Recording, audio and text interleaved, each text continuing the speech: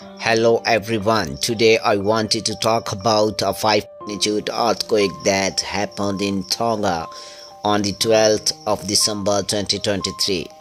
The epicenter of the earthquake was located east of the city of Nuku'alofa, the capital of Tonga. It was a shallow quake that had a depth of about 29 kilometers. There were no reports of any casualties or any major damage. Some local NGO were saying that magnitude is uh, 9.2, but when we viewers look real facts, ground reality, the report of the US Meteorological is 5.6 magnitude is absolutely right.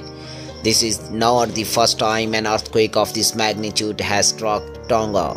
In fact, it has become a common occurrence in the area. In the past few months, there have been numerous earthquakes ranging from 5.3 to 5.6 in magnitude. It's important to stay alert and informed in the case of natural disasters like earthquakes. Have a plan of your family and beware of your surroundings. So, dear audience, and make sure to keep your emergency kits up to date. Thanks for watching, and I hope this information was helpful.